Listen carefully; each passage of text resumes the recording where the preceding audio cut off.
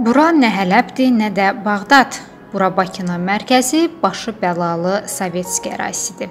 İllərdir Bakının Sovetski problemi həllini heç cürə tapa bilmir. Lap Qarabağ probleminə dönüb.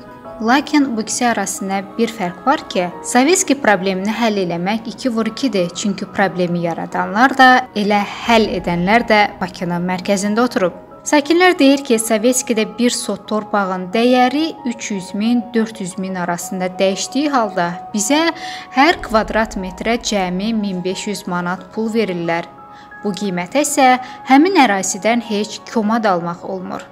Prezidentin Sovetski sakinləri üçün ayırdığı kompensasiyanı isə Maliyyə Nazirliyinin aparat rəhbəri Cavanşir Yusifov mənimsəyir. Deyir ki, vermirəm. Get kimə istəyirsən, şikayət elə.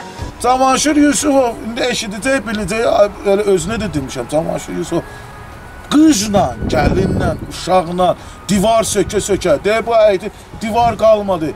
Abraya hamısını tökdülər. Nə kimə gəlsən getdi yenə.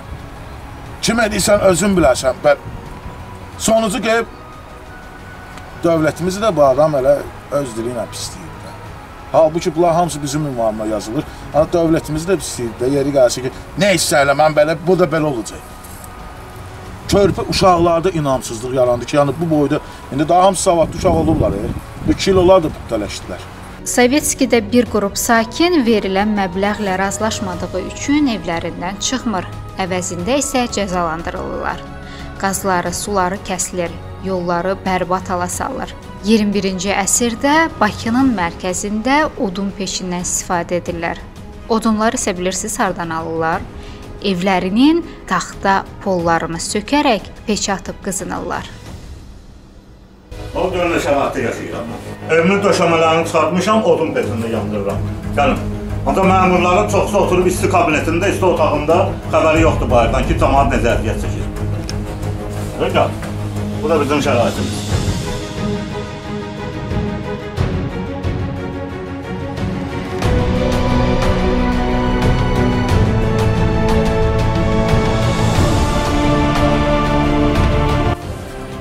Cür şəraitdə yaşayırıq.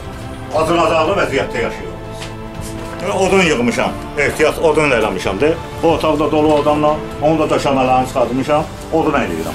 Mənim sənətim budur da. Şəhərin mərkəzində yaşayasan odun peçi ilə. Bu gülməlidir, hansı dövlətdə belə bir iş var?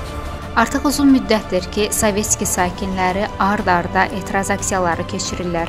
Onlar verilən məbləğin artırılmasını və kompensasiyanı tələb edirlər. Maliyyə Nazirliyinin aparat rəhbəri Cavanşir Yusifov isə hələ ki qaçır. Verilən suallardan və məsuliyyətdən yayınmağa çalışır. Cavanşir Yusifovla Əziz Əzizov keçmiş icra başçısı. Məni veriblər inzibati məhkəməyə mənim xəbərim olmadan. Bir aydan sonra gəliblər ki, çıxmalısan evi. Demişəm Əzim əlim, niyə çıxmalıyam? Dedi, sənin məhkəmən olub. Mən demişəm, bəs mənə xəbərdarlıq, bildiriş gəlmir. Mənə qayıtdı ki, mənə dedi ki, biz bu metoddan işləyirik. Özbaşlanıq başalıb gedir. İki ildir bizdə qaz yox, su yox, telefon yox. Blokadada şəraitində yaşayırıq. Sən isti otağında oturmursan, əziz Cavanşir. Samil Şərifov oturmuşsa isti otağında biz burada odun peçi yandırırıq. İnsafa gəlin, kişilik olsun. 122 kvadratıma mənə Cavanşir Yusufov 72 min pul verir. Ona da heç nə, hara gedək? 70, 120 kvadrat 72 eləmir. O pulu bağışlamışam Yusufova. Getsin alsın. Biz qalmışıq bu çətin vəziyyətdə. Suyumuzu, qazımızı kəsiblər. 2 ildir. Bakı şəhərinin mərkəzində yaşayırıq. Bakı şəhərinin mərkəzində Azər Azərbaycan vətəndaşıyıq. Yəni ki, bizim hüquqlarımız niyə tapdalanır? İnzibatı məhkəmədən tutmuş hamısı bizə iş kəsiblər, qərarlar çıxartdı icra hakimiyyətinin xeyrinə. Ancaq Niminat xanım Hacıbəyova məndən 5 dəfə, 5 dəfə protest oldu, 5 dəfə sizin eviniz dayanır, yoxsa sökülür. Deyirəm, ay hakim, gəlin səyyar məhkəmə eləyək. Evdə xəstəni veriblər məhkəməyə. Xəstə namı. 15 ildir pastendə yatır. Bu arvadı veriblər məhkəməyə. Bu, nə var, nə, biz də praktikadayıq. Verib arvadı məhkəməyə, deyirəm, gəl hakimə, Nimrat xanıma, gəl bax. Deyir, mən deyir, səyyardır, məhkəmə eləmirəm. Qadını uzadın, xahiş edirəm, əziz şey. Məhkəmə. E, icra hakimiyyəti, Əziz Əzizov. Keçmiş icra başçısı. Bəli, bəli. Və yaxşı, verim onu məhkəməyə. Var vaxt məhkəməyə oğlanları var mıx kimi. Mənim qardaşım Qarabağ qazısıdır. Prezidentimiz dedi ki, onlar Avtomobil millətdir. Onlara qulluq eləmək olar. Hani bu prezidentin sözünə baxan yoxdur, heç kim heç nə eləmir. Belə şey olar. Oğlum Qarabağda, bu Afqanda. cəhbədə eləyir. Erməni Bir üzvü. erməni üzvü. Mənim oğlum bəli. Bir torpağımızı istəyirik, ayana. Biz heç yerdə getmək istəmirik. Prezidentdən Ancaq narazı bizə, deyil. qurban olun, prezidentimiz, birinci xanımız, Mehriban xanım bizə kömək eləyir. Biz belə qırılıb ki, bu soyuqda barbadı mənə nə saxlayıb? 2 ildir burada saxlayıram. Bizdən bu peçlə saxlayırıq. Peşlərlə saxlayırıq. Biz burada neçə il, yüz illərdir yaşayırıq. Atam da burada yaşayır, anam da hamımız. İndi mənim evim böyük. Bu aşağıdakı evi su basıb, vəbşey. İndi mebellər, icadlar qalıb orada, iş ömrü.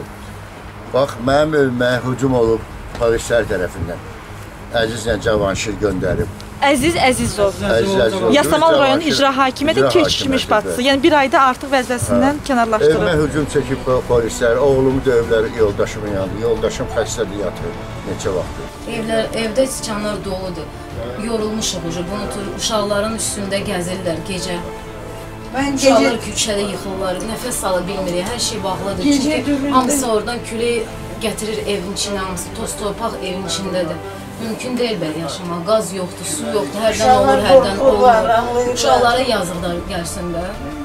Nə məktəbə gedə bilirik, yolumuz bağlı olan. İndi o tərəfdə yolu bağlayıblar, keçə bilmirik. İndi buradan keçirik. Buradan da hamısı üst-üstə daşlardır.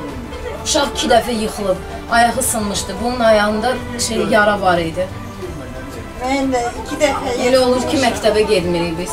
Prосим. Здесь нету, здесь Много надо не везде хотим. все баллоны, всем до- дома дали. кроме нас. Компенсации дают, а оставшимся людям, которые здесь остались, не хотят нас отсюда тоже. Мы тоже, да, хотим, как люди жить. Hamı dedi, qən edirəm, bu bizim içimizdən gələn nalədir.